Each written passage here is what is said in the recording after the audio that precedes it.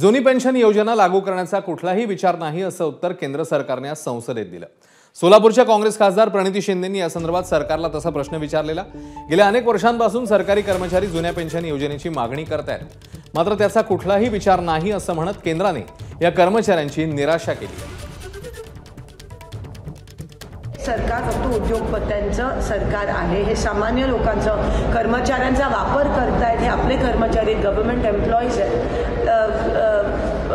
प्रशासकीय अधिकारी आणि राज्यकर्ते हे एका नाण्याचे दोन बाजू आहेत आणि तुम्ही त्यांना टोटली डावळताय त्यांच्याकडे लक्ष देत नाहीत केंद्रित करत नाहीत. पण तुम्हाला उद्योगपत्यांचं पडलं आहे तर ह्याचा निषेध करतो आणि एन पी एस च्या माध्यमातून जी कपात होते आहे ते उद्योगपतींना देत आहेत तर ह्याचा आम्ही निषेध करतो आणि जाहिरात जाहिरातबाजीसाठी अ, वापरताय तर म्हणून ओ पी एस ही लागू झालीच पाहिजे हा आमचा हट्ट एबीपी माझा.